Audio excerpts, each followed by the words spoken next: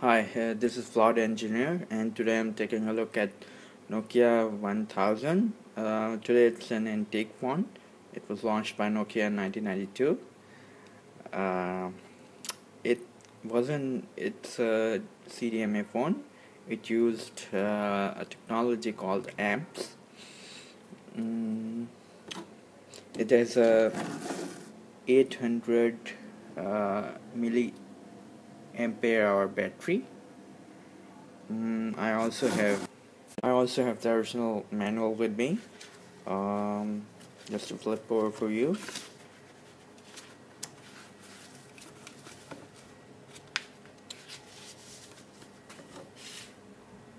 Okay I believe that's enough. This is the back end of the phone. The battery goes here. There's a latch on the battery. And you put it in it locks in. Okay.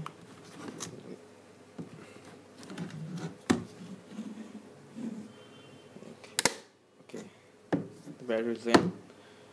Unfortunately the phone doesn't turn on as I said before. Uh, power used to power on the phone.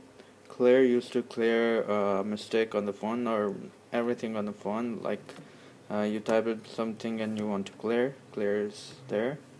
Alpha used to switch uh, alphabets to uh, uh, numbers and vice versa.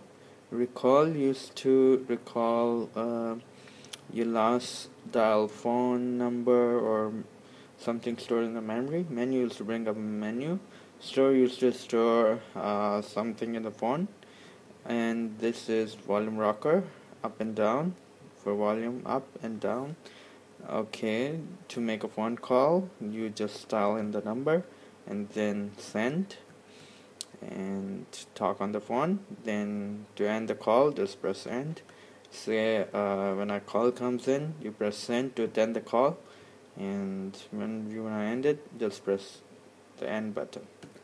So this is a this was a quick look at Nokia 1000 uh, if you like the video please uh, comment uh, rate it. Uh, thank you very much for watching